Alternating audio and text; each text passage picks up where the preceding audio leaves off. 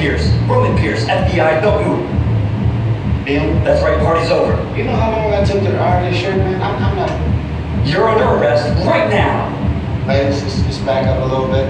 Got it. It's like that. First of all, I don't work for you. Oh, really? Well, tell me, Roman, who do you work for? We don't work for nobody. I suggest you clear out of here, otherwise we can't guarantee your safety. Guarantee my safety? I'm the one holding the gun. Never mind, a whole lot bigger than yours. Hobbs, escort this novice out. Let's go, Cookie Puss. An ugly uh, syndrome.